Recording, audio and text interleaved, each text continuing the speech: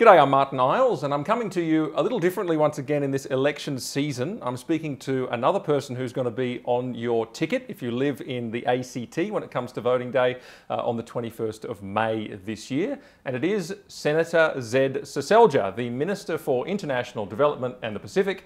Zed, thank you for doing this. Thanks very much for having me on, Martin. Now, Zed, you are somebody who I think would be maybe in the top three to five contenders for most exotic name uh, in the Parliament. Uh, you're known as Zed, but how do you pronounce your actual first name? Well, it depends if it's Croatian or English, but Yes. uh, Zdenko or Zdenko in Croatian. Okay, uh, it's so Zdenko. Z-D-E-N-K-O, Zdenko. So the, Z, the Zdenko. D's not silent. No, it's not. You sort of got to stretch out the Z to say it properly. Zdenko. what does it mean? Uh, it means sort of a, a well or a spring. Uh, Okay. yeah, so Oh, nice. Yeah. A well of wisdom or something like this. Well, Well, you could fill in the blanks. who knows? There'd be all sorts of different views on that, Martyn. Look, I'm going to give you a quick career summary, um, and I've got some notes here. This is the quickest career summary you're ever going to have had. Uh, you were the child of, and I think I can say this, poor migrants. Uh, relatively, yeah. relatively? that- Certainly pretty modest income, yeah. Yeah, so your dad took up photography and was the That's right. Single income, six kids. six um, kids. Yeah. Then you went on and worked at Woolies. Then you were a cleaner. Then you studied law and arts. Then you became a legal assistant at the Australian Fisheries Management Authority.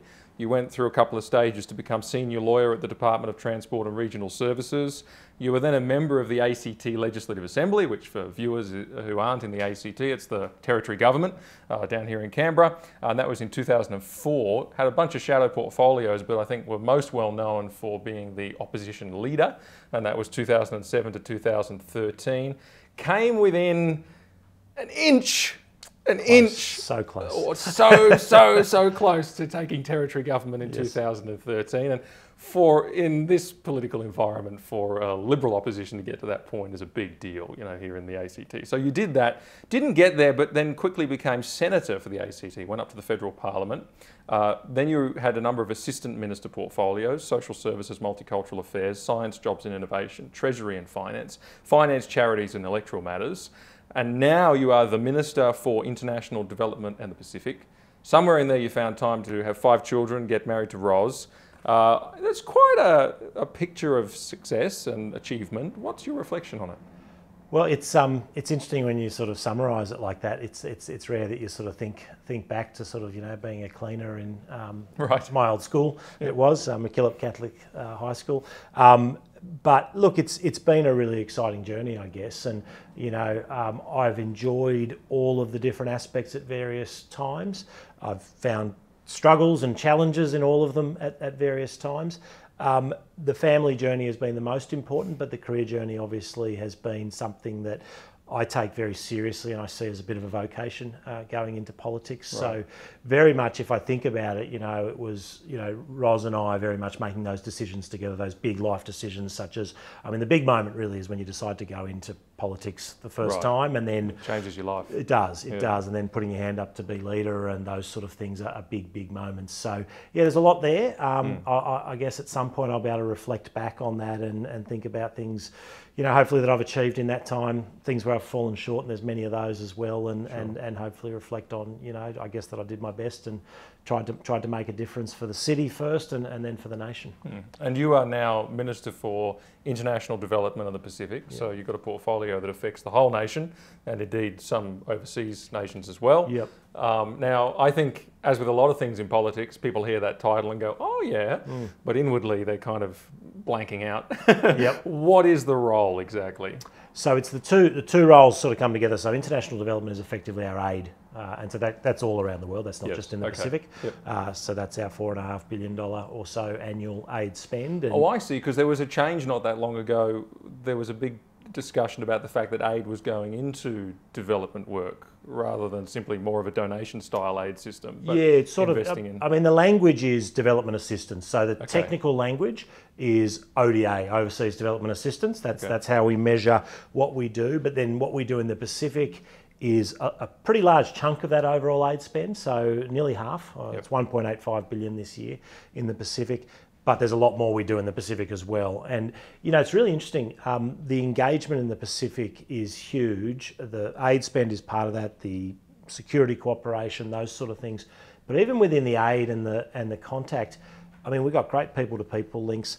the sport and the faith side of things are huge. Okay. Um, it's a really interesting thing that when I'll meet with Pacific leaders, and sometimes on the phone and sometimes in person, obviously more on the phone uh, in the time I've been Yeah, uh, sure. in the role, but certainly there's been enough in person. We'll often have a prayer together, uh, and I've done Wow. that. I've done that But with they're very religious nations, aren't they? Very uh, much the so. Pacific nations, Very very, much so. faithful. Yeah. and they appreciate um, they appreciate you doing that. Um, for me, obviously, it's you know it's a genuine thing. I'm a Christian. It was interesting. I, I met with um, a number of Pacific leaders in Brisbane a couple of weeks ago, and we were talking Yeah. about a number of these topical issues, such as the Solomon Islands and things. And I met with the uh, Tongan Prime Minister for the first time. I met the Tongan Prime Minister and the Foreign Minister, and I, I led off with a prayer when we met, and we had a really good chat and, and talked about all sorts of issues. But at the end of it, he uh, we were you know we were hanging hanging around and having a bit of a light-hearted chat, and he said, you know, he said it was nice that. That, that it was someone else who led the prayer rather than us. You know, it's always the, it's the Pacific Islanders who, who Yeah, do that. sure, so yeah. I think he appreciated that we were able Yeah. to you know come together in prayer and and it's you know I think it's bonding uh, to do that. Absolutely, it's a good good fit for the role. I mean, you volunteered the fact there that uh, you're a, a man of faith, you're a Christian, uh, and you mentioned before that your role in politics you see it as a vocation. Do you have any comment on you know? Obviously, I, I talk to a lot of Christians about politics, and there is a prevailing resistance. I don't know why really, but there is a prevailing resistance to the idea that people of faith should have involvement in the political space and Yeah. take it very seriously. You use the word vocation, which is you know taking it very seriously.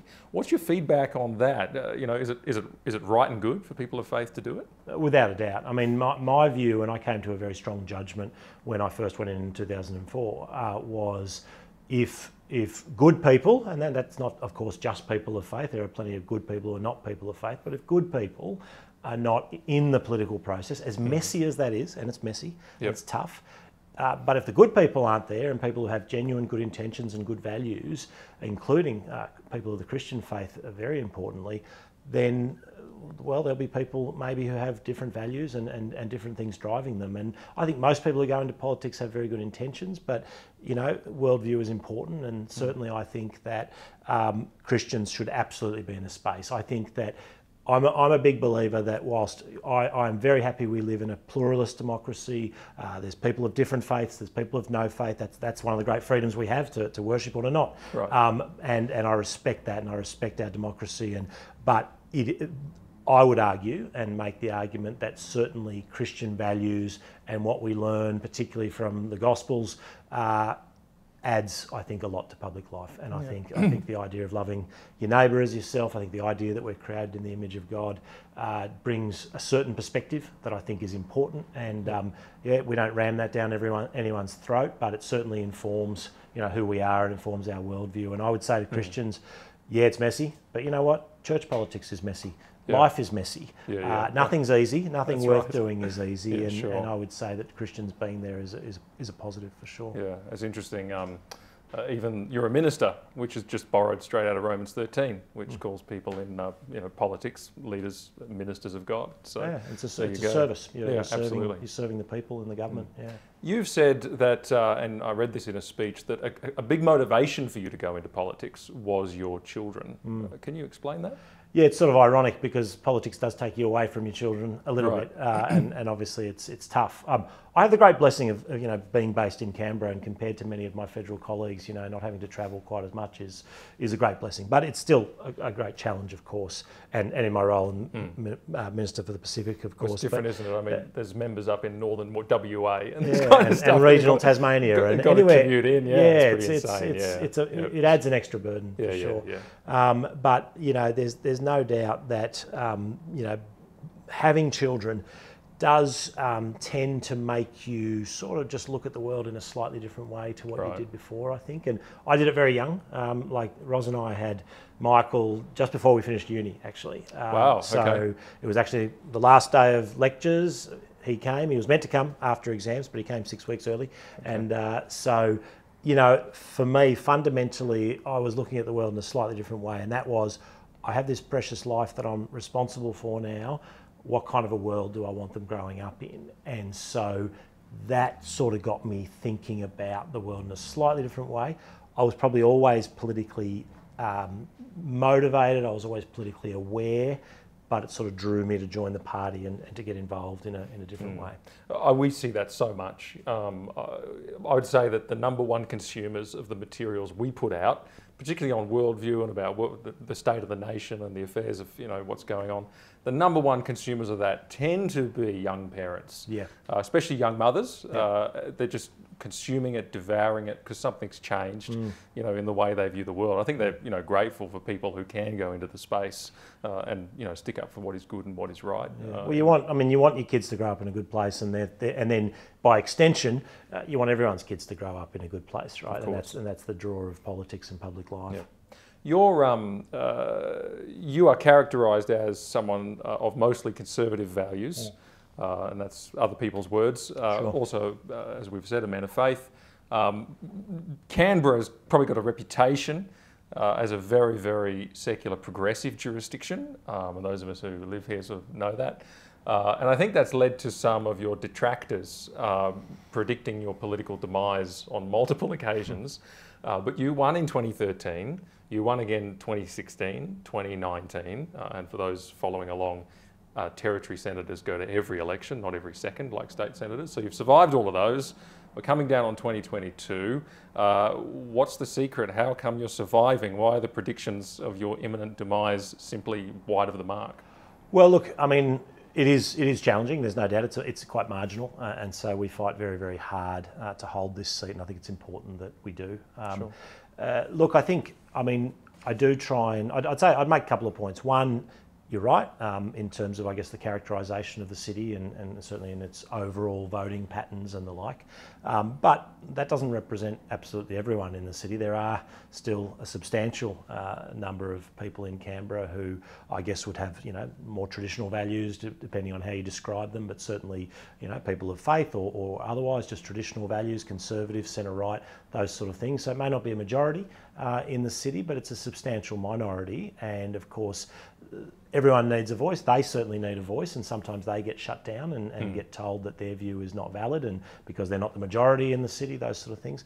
But I think also even reaching beyond, you know, that particular part of the constituency, I think you know I work hard for the city. I mean, there's a lot of things that I would just seek to deliver. You know, infrastructure and housing and those sort of things, whether I was in local government or in in federal government. And so I guess you, you do your best to try and deliver. You fight for things. There are some people who may not agree with everything that I stand for, but may respect the fact that I stand for things. So Sure. you know, you get a bit of a mixed bag, but it's it's not easy. But you've got to absolutely fight for every vote. Yeah, sure. Um, you, uh, you're in a slightly different position to some in the parliament. Um, uh, perhaps I'll put it this way: uh, amongst supporters, I, I often see people uh, that are following after very outspoken politicians. Uh, and there are larger than life politicians uh, in the parliament uh, who have large social media accounts, say a lot of good things, speak their mind, uh, cross the floor on occasion, uh, you know, all that kind of stuff. And I know that um, there's a prevailing uh, mood out there that says, well, I wish all the politicians were like that politician. Uh, and that's not to criticise them at all. They play a very valuable service. But uh, I guess what you and I know, and what those who follow politics closely know, is that they are backbenchers. Uh, and that gives them a certain liberty. Uh, or crossbenchers uh, Yep. from a minor party. Yep. Uh, and the reason I raise it is that you're in a slightly different position. You're a minister in the government. Uh, and so you don't have the freedom to be as outspoken from the outside of the tent, so to speak, uh, and to, uh, you know, break rank.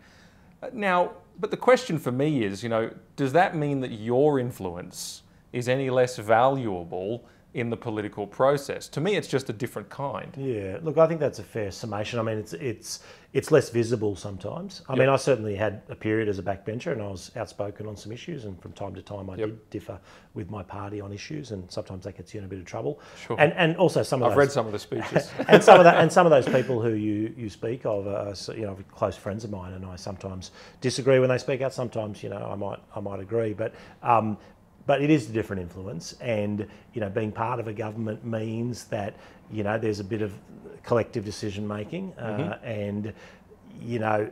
If you're not an independent, and I, I think the parliament, if it was full of independents, I, I think would be quite chaotic. I really think it would. I know people can look at parliament and say, you know, it's it's tough now and it can be a bit chaotic, but at least when you have party platforms for good or ill, you, you get a, a, bit of an understanding of what our party stands for, what the Labor Party stands for, what other parties sure. stand for. Yep.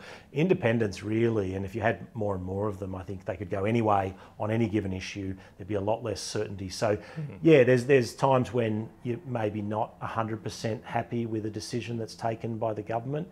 Obviously, you know, and I haven't reached this point ever, but if you were if it were such a such a level um, that you felt that uh, you couldn't serve in that, then you know you'd have to consider your conscience, and, and, and that would mean of resigning. Yeah. Uh, and of course, you know we all have to consider that.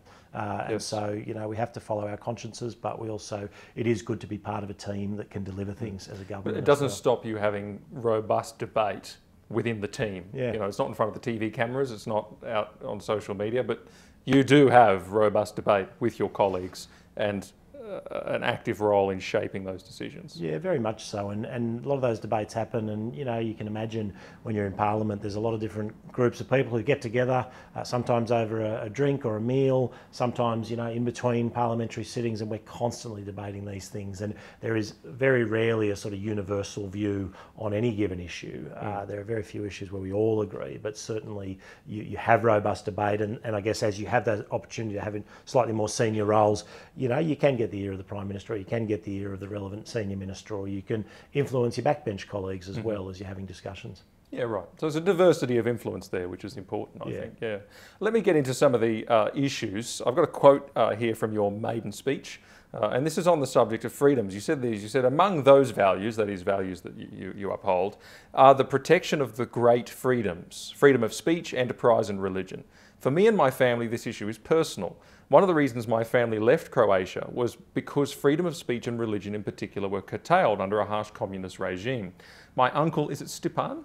My uncle yep. Stipan spent several years in a Yugoslav prison for daring to challenge the communist regime and assert his rights to speak freely and pr freely practice his religion.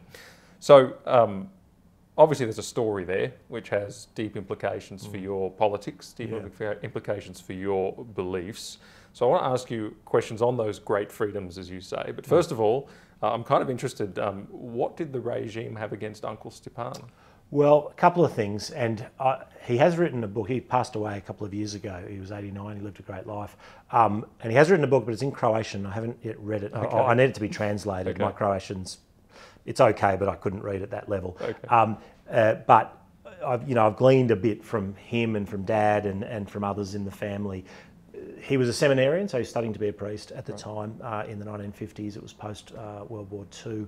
There was a communist regime of Tito, um, and there was part of it revolved around a very particular cleric who was in the firing line of the Yugoslavian regime, Cardinal Stepinac, uh, who was a very famous cleric. He was under house arrest, I think, at the time, uh, until he died, I think, in 1960. So he was sort of persecuted. They made all sorts of claims about him, which I think have largely been debunked uh, in a number of studies since. Um, but he was controversial my, my uncle Stepan, I understood, refused to condemn him when, you know, the, the various, um, you know, communist agitators would come and, and get him to condemn.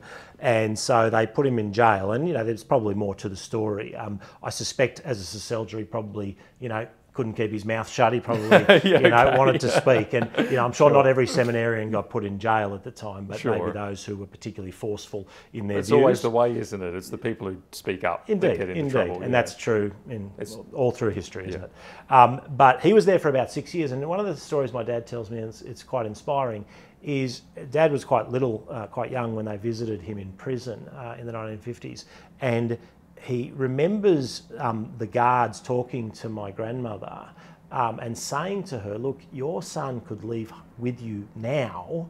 He could go home with you right now, but he, he really needs to sort of renounce the faith and he needs to sort of back down on what he's saying. And he refused, um, which you know showed great courage, I think, and mm. puts into some perspective, I guess, some of the debates we have around you know, the, the, freedom to speak up, courage to speak up. I don't underestimate that speaking against the tide or against the majority or against what's you know what the media are particularly supportive of at a particular time doesn't take courage but you sort of compare it to that sort of courage and I think yeah. it does put it in a little little bit of perspective for us mm-hmm. yeah. and also make us reflect on what great freedoms we have that we're not thrown in prison well, that's right beliefs.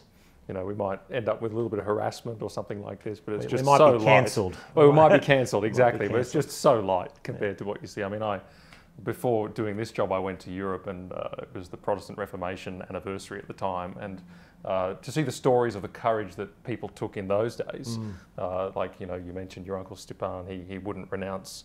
You know, you think of someone like Luther who says, "I cannot recant." Uh, and whatever side of the Tiber you're, Sure, you're on, sure. uh, it's it's it's great courage, you know. Yeah, uh, and is. again, it sort of made me feel like, well, you know, what cowards are we in this day and age that we won't even be cancelled for what we believe? Uh, look, and people shouldn't be cancelled, of course. Of course not. Uh, no. yeah. Yeah, no, that's fair enough. They shouldn't be cancelled, but nonetheless, you know, people have people have taken great uh, cost in the past. Yeah, Um, and, that, and and and by you know, it does remind us too that even small acts of courage now, Yes. um, maybe not quite as significant as you know being thrown in prison and, and That's right. standing up to that, but even small acts of courage matter because they, they, they give other people, I think, license to be courageous as well. Mm, courage is contagious. Hmm. Yeah.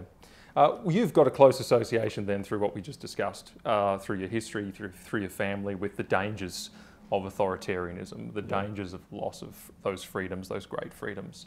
What do you make then of what is the modern argument that I just encounter all the time, and you'll know it straight away, which is that, well, you know, these freedoms are harmful. Um, and, you know, they, for example, if people are free to speak or free to believe and act on their faith, you know, it's all going to be unpredictable. Uh, and you're going to get rat bags in there that say horrible, hurtful things or believe horrible, hurtful things, and you're going to do harm. Uh, what's your argument in reply to that objection? I mean, it comes up constantly. Well, I think the type of harm that's often talked about there in that criticism is a very subjective harm, I suppose. So obviously, um, you know, we have rules and laws rightly about physical harm or encouraging physical harm or encouraging violence, and there's Right. very good reasons we, we do that. Um, but I think parts of the sort of parts of the modern left, I suppose, in this contest on free speech have stepped to another place where they will define all sorts of even offence as being harm. And Yeah. that's where you get into very dangerous territory, I think, because it's very subjective um, and it's very much about, you know, someone's uh, personal experience or offence and response to something you might have to say or I might have to say. Now, when I defend freedom of speech, and I don't, I don't, um, I, like I, I tend to e- express myself, I think, pretty respectfully. I actually think that's a good principle. I, I don't think we should. course, yeah. uh, but where you draw the line at law is a different question, right? I think civilized discussion is what we should all aim for. I, I- I don't think we just throw rocks at people just for the sake of it. But, but civilized and, of course, robust discussion is important as well. But we shouldn't, therefore, be uh, you know, denying people the ability to say controversial things or things that are unpopular because it might offend uh, some people. I think we have to be big enough to sort of allow that discussion to take place, have the discussion, um, and then also call it out. You know, when it's a bad idea, if it's a, a really hurt, hurtful, dumb thing, if it's expressed in a bad way, I'm happy to call it out. But it's just a question of not banning it, and, and certainly this this tendency to cancel uh, people because of one or two or three things they've said that might be inappropriate or, or wrong. Um, you know, I, I don't think it's the way to go, and I think a lot of Australians are probably starting to react to, to that push. Well, you and I, I guess, believe in a greater truth, don't we? So we, we believe that there's something worth arguing over. Yeah. Uh, you know, if I'm offended, well, it's not really the point, is it? There's a greater truth Yeah. that, that I might be drawn closer to or that I might have to re- reassess.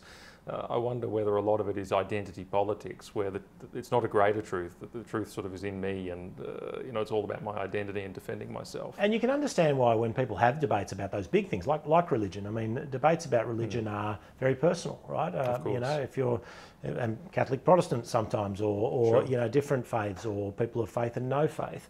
Um, it's good that we have those debates. It's good we have those discussions. Of course, people are very passionate about it, rightly so, because it's fundamental to who we are, is what we believe about life on earth, whether there's an afterlife, what that looks like, all of those things. You can never get away from that, uh, regardless of what your views are. That, that is, that those are the big questions of life, and so it's right that we um, discuss them. It's right that we debate them. It's right that it's robust, but uh, hopefully not. As I always, I try and do it respectfully, but I don't think we should, you know, ban people because they do it slightly less respectfully or in a way that I don't like. Sure. On the religious discrimination bill, then this is the freedoms issue. Um, that recently failed. Now, it didn't come, didn't get voted on in the Senate, so you didn't have a direct vote on it. Uh, but again, these harm arguments were raised in relation to it, um, spuriously, because the only statements of belief it protected was non-vilifying statements of belief. Um, but what's your reflection on that? How important was that bill in your view? Yeah. Uh, and should it come back? It, it was important. It is important, uh, and yes, it should come back. Um, and you know, I mean, the Prime Minister's had a bit to say about that uh, in recent times. I, I, look, I, I've been a big supporter of religious freedom publicly and, and internally in some of those discussions and debates. I think it was disappointing how it transpired. Um, obviously, it was largely um, because of um, the vote of um, our opposition, but of course, there were a few of our number who also sided with them, and that was disappointing. Um, the reason it's important is because freedom of religion is a fundamental and bedrock right, which I think has been downgraded a little bit versus other rights. And, right. we've, and we've seen that, I mm. think, in some of the discussions about anti-discrimination law and the like, where, um, you know, there's always going to be a clash of rights. That's, that's true. And, and, and international law recognises that and it, it sort of has ways of dealing with that. Mm. The way our state and federal laws interact at the moment, I don't think it gets the balance quite mm. right. Probably doesn't interact. It just says freedom of religion gets second place, it, right? Unfortunately, yeah. in some cases, and we saw that in Tasmania, didn't we, uh, with Bishop Porteous, yeah, sure. and, and there's yep. been other examples. So, you know, we that's why it's important because people should be free to speak. They should be free to, uh, you know, when it comes to uh, faith-based schools and the like, they should be free to choose those. Um, those are very important freedoms that need to be protected. And mm. the second we downgrade those seriously, um, we are we are putting other freedoms at risk for sure. Mm. Yeah, I agree. It's upgrading something that's been downgraded in the past. What about there? There is a criticism out there which I think can be addressed, but for the good things that the bill did, uh, there are some people who are concerned that it was going to appoint, say, a religious freedom commissioner within the Human Rights Commission. What's the way around that? Because people sort of go, "Well, that's a real concern." Mm. Uh, is there a solution there? Look, I mean, I know there was a lot of dis- discussion and debate about that internally and externally. Mm. I, I, think I think the, the strongest argument for it is, I mean, you do when it comes to other human rights, such as the right not to be discriminated against in certain ways, we of course do have human rights commissioners who play a certain role. So it made sense if you were going down the path of basing sure. the law in a similar way to have that discrimination commissioner for, for Maybe religious it depends purposes. who the discrimination commissioner is. Indeed, it always does. yeah. uh, but in the end, the law needs to be robust enough too, so that it shouldn't just rely on whether the, the particular discrimination commissioner is, you know, the, the person you or I would choose or otherwise. Yeah, sure. And for the record, I don't think that that was a deal breaker at all. The mm. good things the bill did were sort of outweighed it. Um, but of course, uh, the balance might have been flipped when it got to the Senate because a number of amendments were added that would have uh, taken away some of the protections that Christian schools sort of rely on at the moment yeah. to uh, to uphold their ethos. Um, not in the ways that the media claim no. at all. it's just such a, a, a, dodgy hit job on the schools, but in, in positive ways and good yeah. ways. Uh, you've said a few things about Christian schools, and I'd like to unpack this. I've got two quotes here. Uh, one's from 2018. Uh, you said one of the great things in Australia is that parents have the opportunity to choose, based on their religious beliefs in many cases, an institution which adheres to their beliefs, be they majority or minority beliefs. So the choice of a Christian school is what you're referring to there. Then you mentioned an issue of parents' rights. This is from 2017 speech. You said, I want to make one other point in relation to safe schools, and I think everyone remembers that program, uh, and parental choice. When you ask virtually any parent faced with some of the material around things like safe schools curriculum, whether a parent should know about that and have the opportunity to withdraw their child from, the, from those kinds of classes, you get an overwhelming response in the affirmative. As Senator Fawcett has pointed out, South Australian Senator, uh, in accordance with their rights under the International Covenant on the Religious and Moral Instruction of their children, parents should be able to withdraw their children from those classes. This is something worth fighting for. So you raise that uh, issue. Uh, do you think that in that context, you think parental rights are under attack? Well, there's certainly there's certainly in some of the debates, yes, they are, and they can be, and I think they are well worth protecting. And the, the debate about um, uh, choice in schools, faith-based schools the like is, is probably at the heart of that, but it's not the only part of that. The reason it's important um, is because when I send my kids to the school that we've chosen, um, I mean, we are the educators of our children. As parents. We Right. are the, the primary educators of our children. It is our responsibility. Not the state. and, and we are de- we are delegating that to others. We are effectively, when we send them to the local state school or to the local Catholic or Christian school or Islamic school, you are making a decision to hand over a bit of authority to trust others uh, with your your child's education. Now, you're not. Um, you're not sort of saying that that is absolute. you are you are taking it on trust to some degree, but of course those parental rights are still paramount. And, and so that's reflected in international law. It's reflected in part in Australian law, but it, that could be stronger. And certainly when we talk about whether or not faith based schools should be free to teach uh, their religion and their beliefs, that's that's a that's an extension of parental rights because you know there's a lot of choice here, right? There is a lot of choice. You can you can choose even amongst Christian schools. We have great choices. You know, you if you are you know a, a Bible believing, fairly conservative Christian, there's a number of schools you can choose, and then even in, in Christian schools, there are, there are schools that are Christian schools, but perhaps would, would teach things fairly differently uh, and, and sure. would take a fairly Yeah. different approach. And so parents spectrum. parents can look at that spectrum and say, well, what is right for my child and what, what most uh, reflects my beliefs. And so that, I think, is such a fundamental thing. And the debate about schools is very much an extension of the, the debate about parental rights. Yeah, um, and so what about this argument then that people say, well, if a faith-based school wants to teach uh, a particular view, a faith-based view, then they shouldn't get state funding. Um, that's something that's come in uh, recently, as if you know they're, they're outliers and they shouldn't be allowed to exist. That doesn't seem to be your view. No, it's not. And, and I'm a big believer in, in, in gov- government funding for um, non government schools, for faith based schools, for other independent schools. Some, some are not faith based, but that, that, that's that extension of parental choice because what I would say is, um, you know, taxpayers. Uh, whether they send their kids to a government school or a non-government school, they're paying their taxes, uh, and then some are choosing, for various reasons, to make an additional contribution on on, on top of their taxes for their child's education. Now that's that's true. that's a choice they're making. Not everyone can do that either financially or, or wants to do that. But if you do do it for whatever reason, including as a result of your faith, I think the government should come in behind you, and that's a that's a debate that really you know goes back to the 1950s and 60s uh, when we first had these debates around Catholic system. It was actually down the road from here in Goulburn where we had the Goulburn strike, which started this debate, and the Menzies government first started funding um, these Catholic schools and then other other schools. In, in the UK, uh, I think they have versions of religious schools that are completely government funded, uh, where you can Yeah, okay. actually we can actually have a no fee uh, Catholic or Anglican school, I understand. Yes. So that's a very different model. Ours is a bit of a hybrid model, but certainly the government, I think, should support that choice. And there's a diversity thing here as well, isn't there? People who say that don't realise that, well, taxpayers are people who send their kids to non-government schools, Yeah. Christian schools, Catholic schools, government schools. You know, they're all taxpayers. Yeah. So a taxpayer's funding, you know, should cover them all. Indeed. and if you look at the demographics of most of your low and mid fee um, Christian Catholic schools, Islamic schools, they will you will see that they are they this is not a wealthy set generally. Yeah, this that's is true. this is ordinary families in the suburbs, yes. you know, paying a few thousand dollars, sometimes with great um, trouble to do that. I remember my Yes. my family putting six of us through Catholic schools. I know they found that pretty hard, uh, but they they were Make the sacrifice. very committed uh, Yeah. to seeing us get that type of education.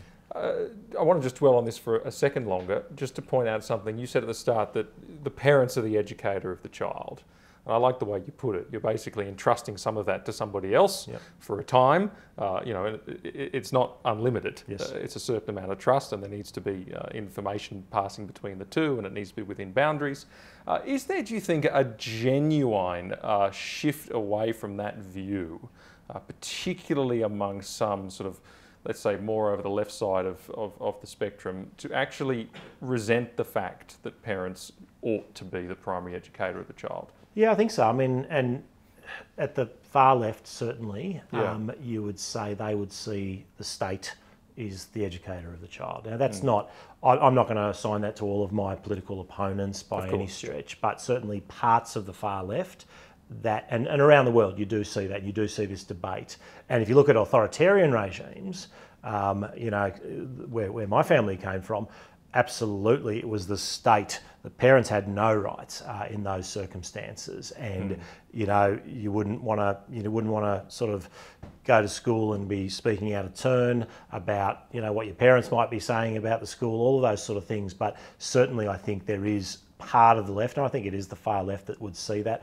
I, I once had a debate, and I forget the name of the individual. Was, she was an Israeli politician. I was on Q and A, uh, and we had this oh, debate. Okay. And we you had and this I have debate. that in common Uh, on Q&A. Indeed, I've been a few times. Um, Oh. But um, she was effectively making the argument not only on education, but she was basically saying that families are the problem for children, Hmm. and the state really should take on this role. So there is that view that Yeah, exists. gee, it's terrible, isn't it? Yeah. Uh, let's move on to life. Um, I just want to make a couple of observations here uh, for people, um, and that is that you've stood fairly firm on, on life issues. Uh, I've got some information about your record here.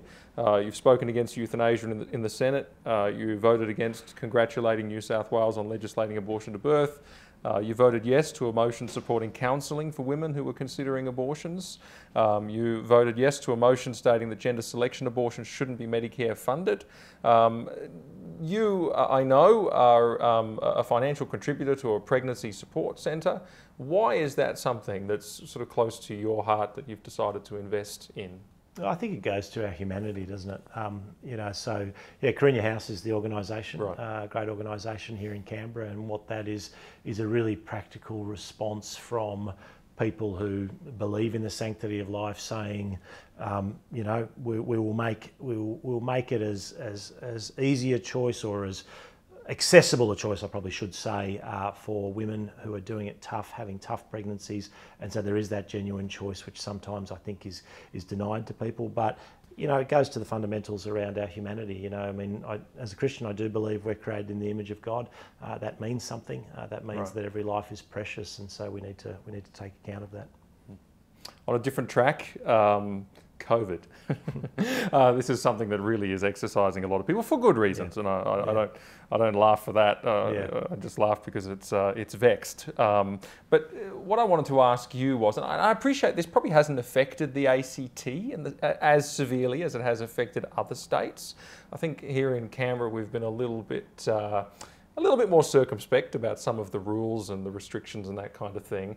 But do you think that there has been uh, any overreach, uh, tending into an authoritarian kind of impulse at times on some of this COVID stuff? I'm thinking particularly like vaccine passports, vaccine mandates, um, and you know Victorian style lockdown, that kind of stuff. Yeah. What's your view on that? Uh, yeah, look, I think there has been overreach. Right. Um, I think I think clearly some of the, the way some of those state borders were administered, uh, Hmm. particularly beyond the early stages, I think, and, and the way the lack of compassion that was shown in, in some really tough circumstances. I remember a, a Canberra uh, lady Going up to Queensland. up to Queensland and Yeah. that was just awful, awful. And couldn't even see her father Could- pass away. That's right. Yeah. I mean, there, there should have been compassion shown.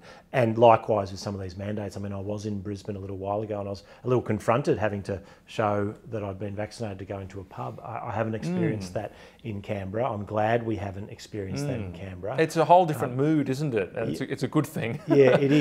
And I think the, the, the decision was taken, and I agree with it, and I don't agree with everything that this government has done, but the decision was, and the judgment was made that people would largely get vaccinated without that type of coercion, and that was that proved to be true. And I think it's, it's, Yes. it's proved true in other parts of the world, uh, uh, parts of Australia as well, that most people will choose the vaccine, some will remain hesitant and won't take up that opportunity.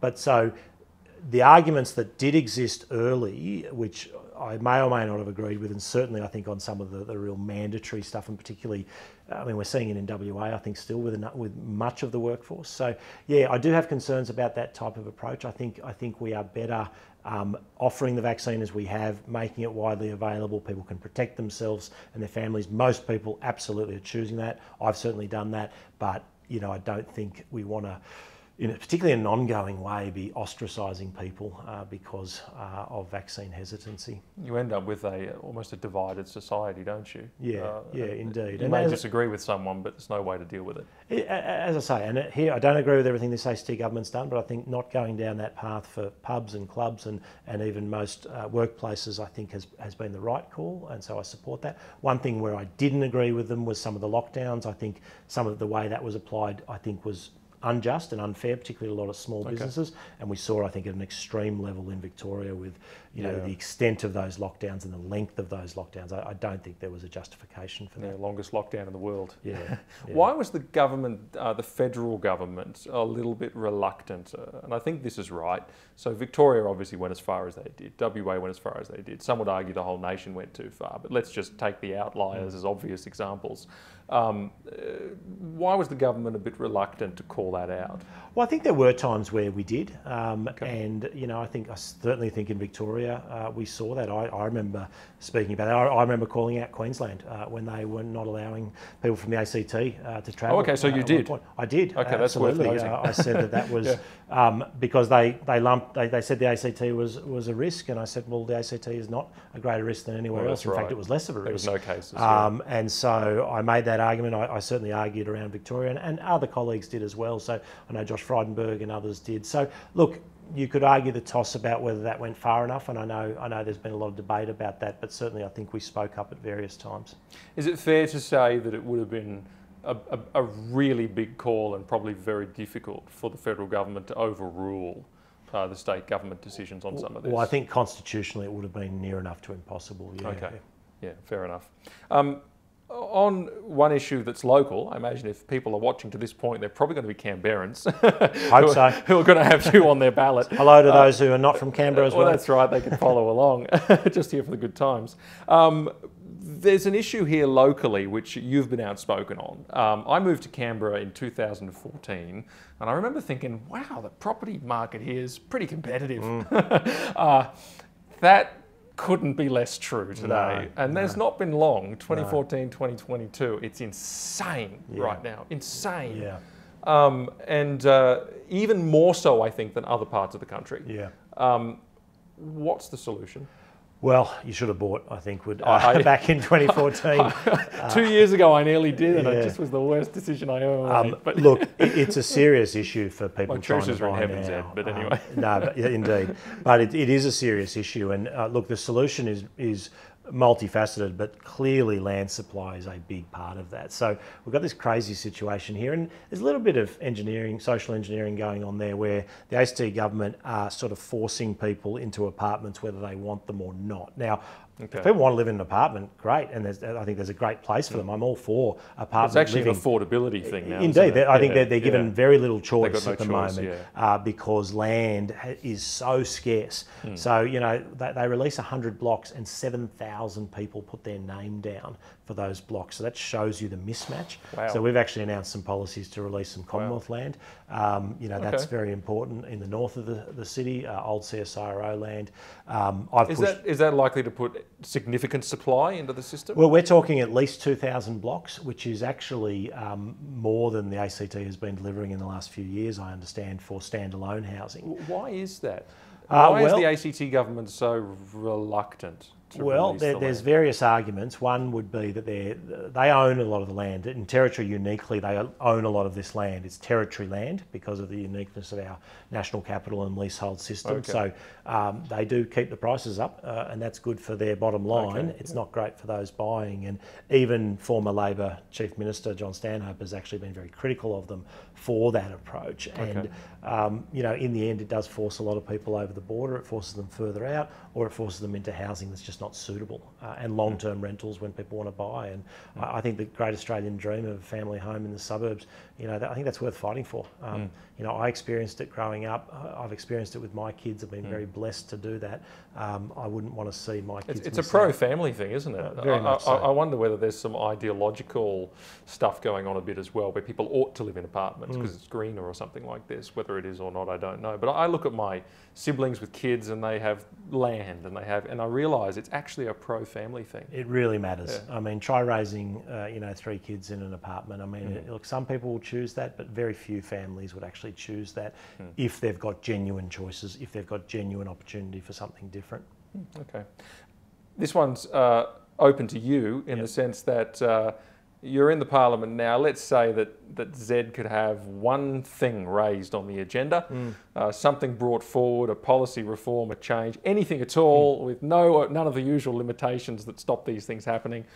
What what's an area for you? Maybe an underappreciated area. Yeah, well, one that's underappreciated um, and I've had a long-term passion for is is adoption and permanency. Okay. Uh, and you know, in Australia, we used to have um, a situation where adoption occurred on a reasonably regular basis. Now, there were some bad practices that happened many years ago, and partly the reaction to that has been to really make it near enough to impossible to adopt uh, Okay. kids. And what that means. So that's a bureaucratic thing now, is it? Not just abortions and things like that. No, this is about this is about because what, what we end up with is kids in, in out of home care long term, Yeah, so okay. in foster care, uh, Yes. and often uncertain foster care, often multiple foster care Cycling placements. through, We're yeah. talking six, eight, ten placements is not uncommon. Dreadful. Must have an awful impact on the kid. Yeah, absolutely. I mean, we I, when I was part of an inquiry, we looked at it. There were at the time, and it hasn't changed much. I think it's gotten worse since. It was about um, it was about fifty thousand kids in out of home care in Australia,